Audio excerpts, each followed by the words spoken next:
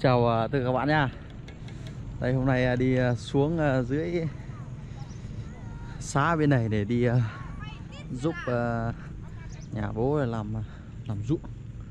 Nhà mình ở mạn bên kia thì không không có không có làm được, Bởi vì không có không có nước.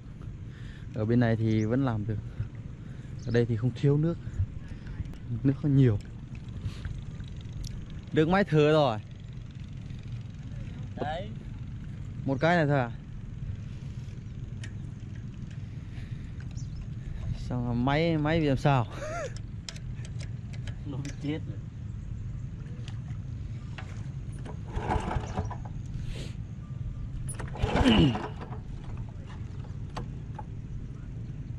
Hay là hết xăng. Đây, Bên ra đây, đây, đây. Đóng lè kéo rồi xăng ra nhiều không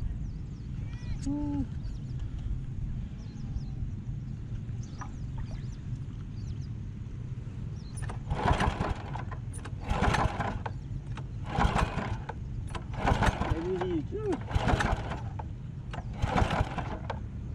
Có cái đồ thao chế dài à, Vừa làm được một đoạn.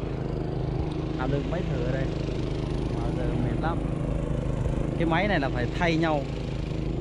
Một người vào một ờ, được một lúc rồi Xong rồi một người lại tiếp tục vào ấy. Phải thay ca nhau. Xem anh em xem đoạn trên này. Bà con làm rất nhiều.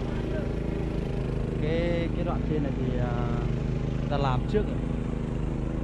Ta gieo trước từ hôm qua cái này là gieo sau sau một hôm. Đây lái cái máy này mất.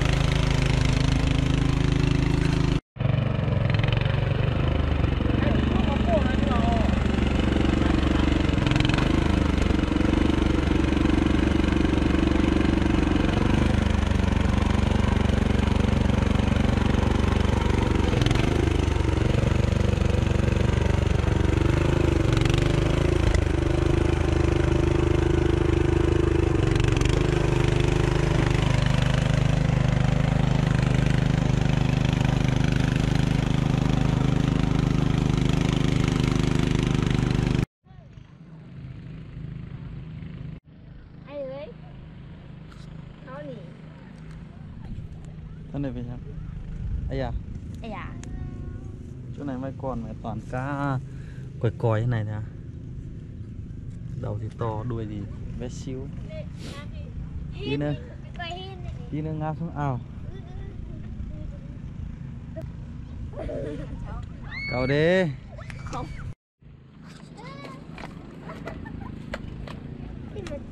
Cái cầu ngắn tụt thế này thế à? Đầu thì to, đầu thì to, đuôi thì bé xíu. Đó. Kéo nó lên chứ. Chịu rồi. Kéo nó lên cao nữa. Eo. Kéo nó lên. Thôi.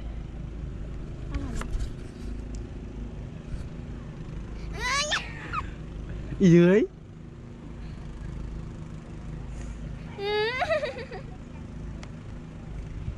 Sao chả phải lấy ra. Không biết giờ đâu Để chỗ nào? Cá để chỗ nào? Vứt đi à? Ừ.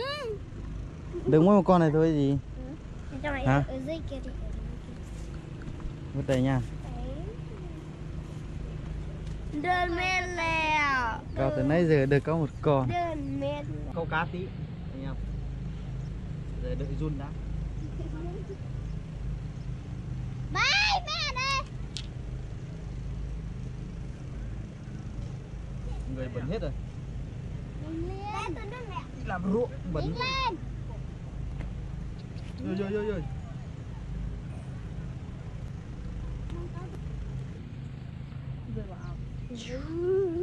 Câu này thì câu này. Đây là ngày xưa là dùng cái này này.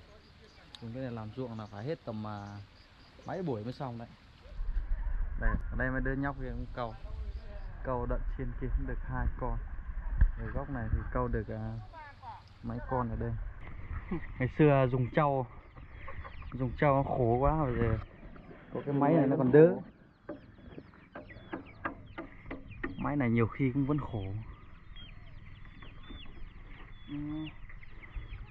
Nó phải không như kiểu mà Hà Nội nè.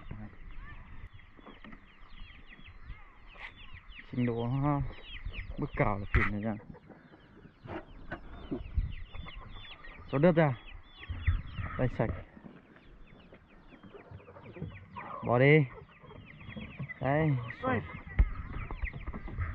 Đây nó Ô cáp ở đây này.